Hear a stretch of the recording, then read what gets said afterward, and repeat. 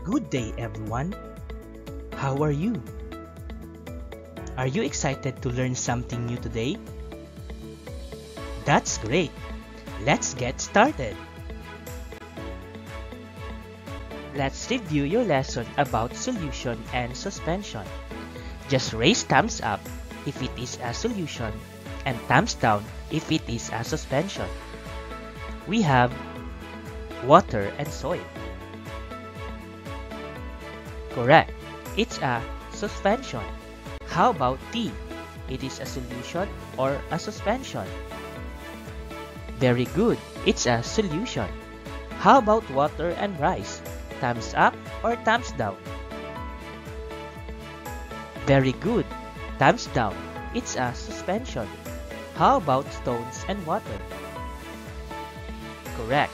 It's a suspension. Let's have an experiment.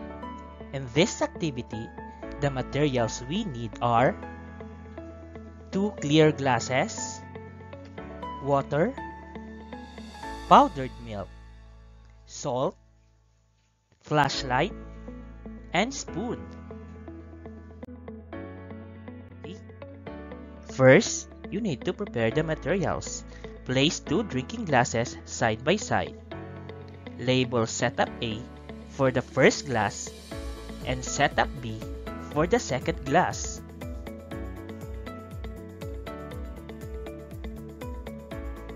Now, for 3 4 glass with clean water.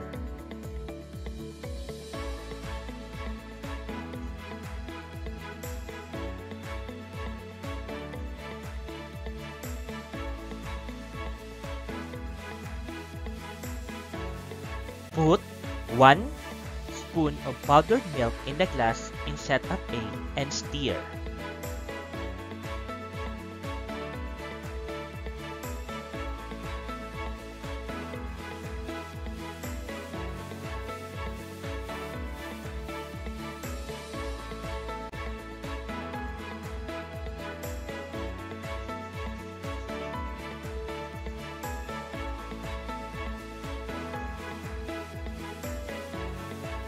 Next, put 1 spoon of salt in a glass under setup B and stir.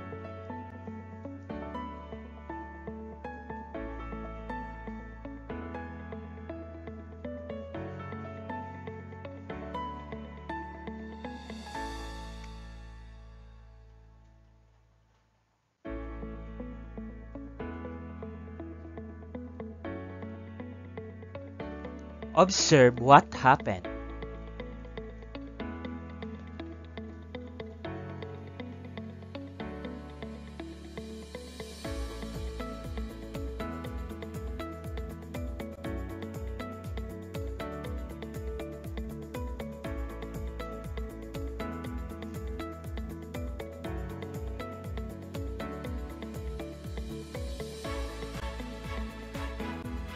Using the flashlight, pass the beam of light to the two mixtures from the side of the glass.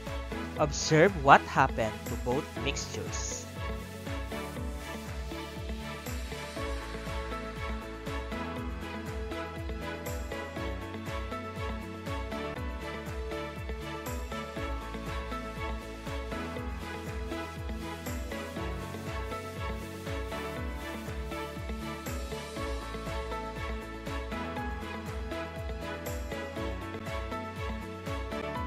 Let's answer some questions about your observation in our activity. What have you observed when the source of light was pointed through setup B?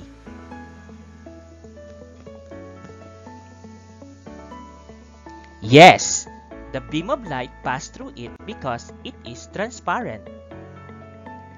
What type of homogeneous mixture is setup B?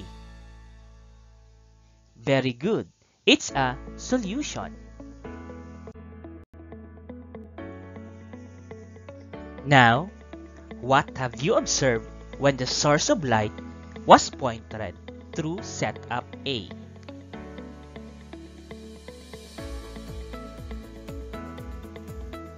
Yes, the light scattered.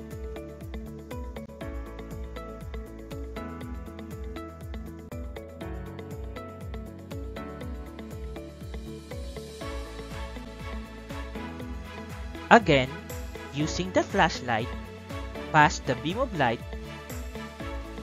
to the mixture in setup A which is, the, which is a combination of water and milk. Observe what happened to the mixture.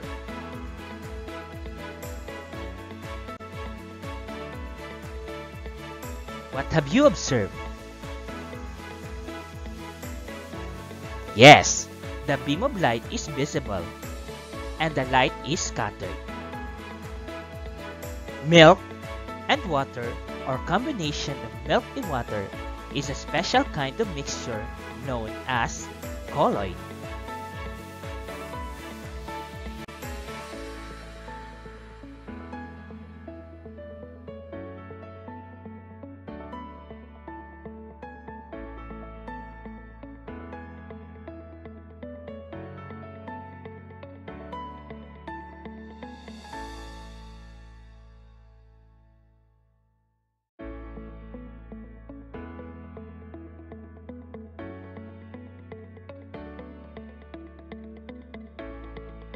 What is colloid?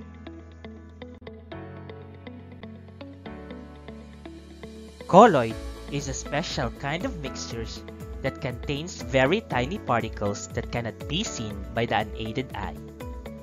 It appears to be homogeneous mixture, but actually, colloid is a heterogeneous mixture. Now, try to compare the particles of colloid to the particles of solution and suspension. What can you say about the particles of colloid? Yes, colloid particles are larger than the particles that form a solution, but smaller than the particles that form a suspension. Let's take a closer look to the particles of a colloid. What can you say about the movement of the particles of colloid? Yes, particles move rapidly and collide with or bump each other. This motion of the tiny particles is called Brownian motion. In our activity a while ago, using the flashlight, we passed the beam of light to the two mixtures, and we found out that the beam of light scattered in setup B. Setup B is an example of colloid. The scattering of light in a colloid is what we call Tyndall effect. Colloid reflect and scattered light.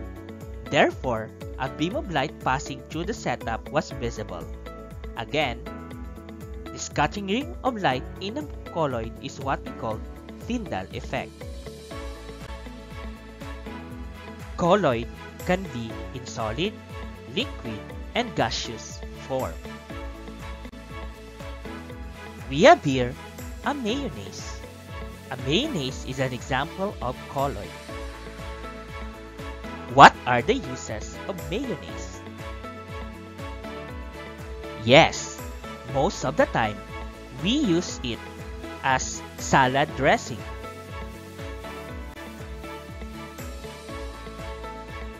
And mayonnaise is a colloid used as food or for food preparation. There are different uses of colloid.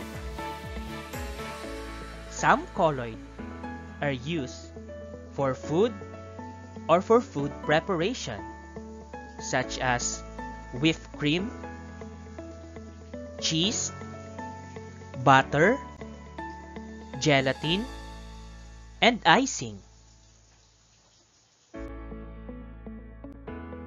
Other colloids can also be used for personal grooming, such as toothpaste, lotion, and facial wash.